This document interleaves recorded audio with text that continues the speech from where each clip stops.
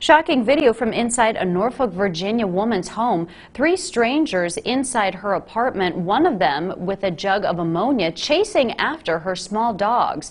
The men rifled through the home and appear to be looking for something. Then they just start chasing the dogs with that chemical. One of Moore's dogs had to go to the hospital. It is expected to be okay.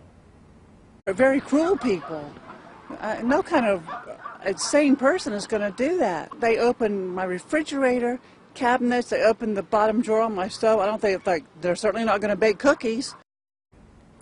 Police are continuing to investigate and locate the three men. So far, no word on why they were inside the woman's home.